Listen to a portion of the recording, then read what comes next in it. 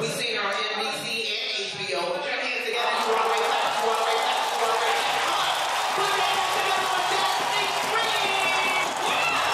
A lot of people tell me nowadays I gotta be a little more aggressive. And I don't know what to say to them. And I, I guess say all the shit they've been saying to us for years. Yo, like, yo, give me that dick, son. Like, I don't know.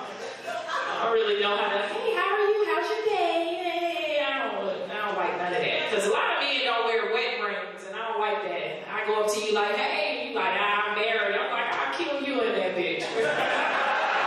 Wear your ring so I know to stay the fuck away, sir. Don't waste my, don't waste my time. But women, we get rejected once, boy, we for life.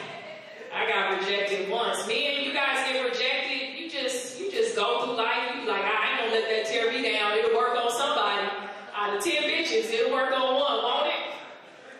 I got rejected when I was 13. I was madly in love with this guy, and I did everything to get his attention, and he just didn't love me the way I loved him.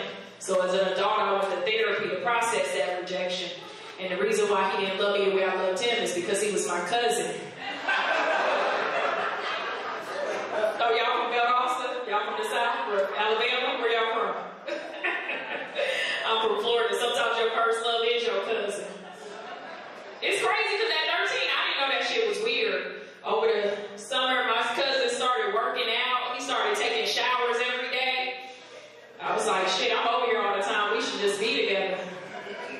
don't nobody love you like family.